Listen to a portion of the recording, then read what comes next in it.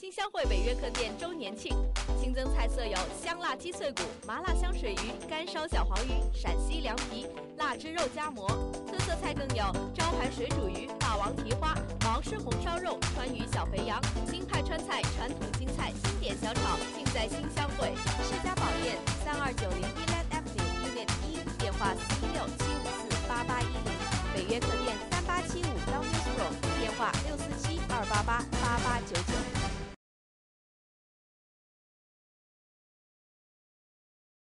在长达约十分钟的电视讲话中，萨利赫表示，他欢迎与反对派建立伙伴关系和多元化的政治格局，并针对持续数月的反政府示威活动，寻求各方均可接受的解决方案。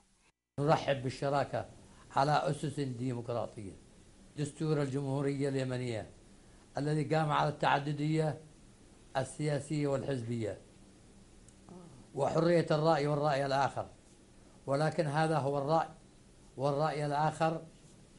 هو الذي يقوم به في هذه الأيام قطع الطرقات وإخافة السبيل وإخافة السبيل وإقلاق عامة الناس 萨利赫还强调自己依旧不可动摇，并发誓将对抗所有的政治挑战。关于自己的伤势，萨利赫说，他一共做了八次手术，主要治疗他在爆炸事件中的烧伤。 和受伤之前相比，画面中的萨利赫面容消瘦，脸上的烧伤疤痕清晰可见。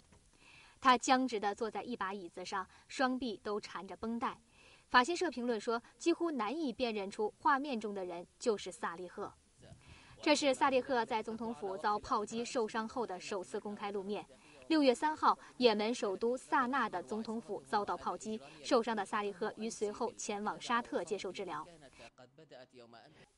今年年初以来，也门局势持续动荡，反对派在首都萨那等地举行大规模抗议活动，要求萨利赫下台。随后，反政府武装与政府军发生激烈冲突，也门一度面临全面内战。萨利赫受伤离开也门后，有政治分析师曾乐观地认为，濒临内战的也门即将迎来转机。也门反对派借此契机竭力阻止萨利赫回国，并要求县政府立即移交权力。与此同时，美国和一些欧洲国家也频频施压，敦促冲突各方停火和谈。不过，分析人士认为，反对派除了一再高喊要与县政府战斗到底等空洞的决心之外，始终没能够拿出一个确定的革命路线图。甚至对于也门未来的政治制度，反对派内部也不能达成统一。另一方面，也门政府坚持要求萨利赫伤愈回国后再谈判权力移交等问题。萨利赫迟迟不能回国，也门局势进程也由此陷入僵局。这次萨利赫露面之后，即表示欢迎与反对派建立伙伴关系，又誓言将对抗所有的政治挑战，所传达的信息依然模糊。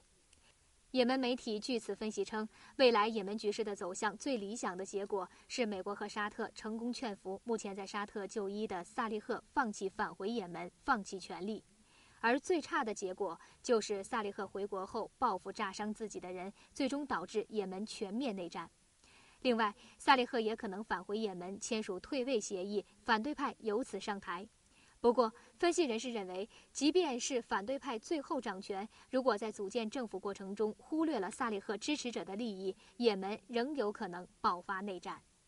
利比亚反对派军方指挥官哈利法·哈佛特五号向路透社透露，反对派的军队正在向首都迪利波里推进，短时间内反对派就能攻下迪利波里。他同时表示，反对派并不希望北约对卡扎菲的住所进行轰炸，而是想正面与卡扎菲交锋，然后把他交给国际刑事法院接受审判。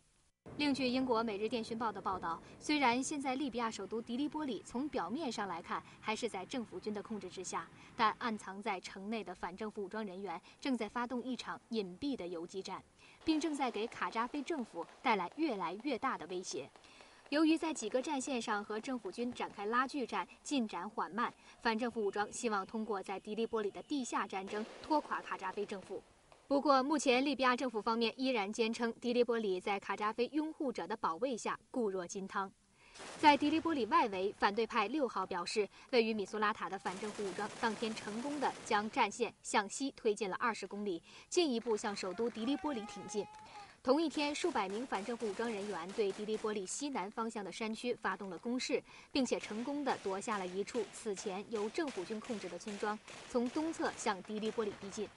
而在东部城市布雷加，双方对峙的焦灼状态已经持续了数周，但反政府武装正加快从埃及达比耶向布雷加的推进速度。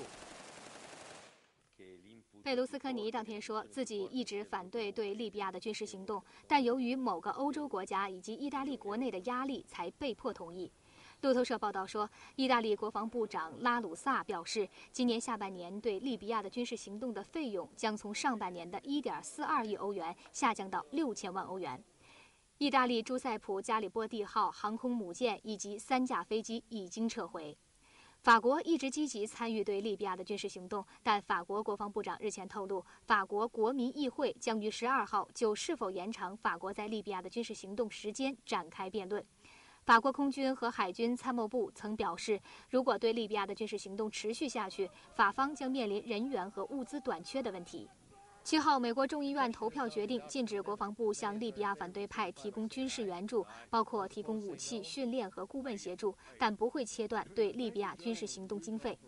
尽管北约发言人瓦纳伦杰斯库七号强调，相当数目的北约成员国已经同意向军事行动提供更多支持，以此来显示北约内部的团结。但是，分析人士认为，高昂的作战费用、久拖不决的战事、各成员国国内政治的掣肘，都使北约内部的分歧日益扩大。虽然分歧严重，但北约上周仍然宣布将加大对利比亚政府军事目标的打击力度，打击目标包括政府军部队以及其主要通讯网络。六号，北约秘书长拉斯穆森说，根据统计，自空袭开始至今，北约联军已经摧毁了超过两千七百处利比亚政府军的军事目标。美菲两军消息显示，本次联合军演在菲律宾巴拉望省以东的苏禄海展开。演习分为海上和岸上两大环节，包括舰炮射击、联合作战等内容。此前，菲军方发表声明说，联合军演依据两国1951年签署的共同防御条约举行，意在加强两军合作关系。但菲律宾民间则发出了质疑和批评声音。左翼团体新爱国联盟发表声明说，美菲共同防御条约和美国军事援助非但未使菲军实现现代化，反而使菲军更加落后。就在美菲军演落幕之时，日本朝日新闻八号报道，美国和澳大利亚海军以及日本海上自卫队九号将举行联合军演，地点是濒临南海的文莱近海海域，具体训练内容目前还在协调之中。这也是美日澳三国首次在南海附近海域举行联合军演。日本政府消息人士透露说，日本海上自卫队岛风号护卫舰以及美澳海军军舰已经抵达文莱。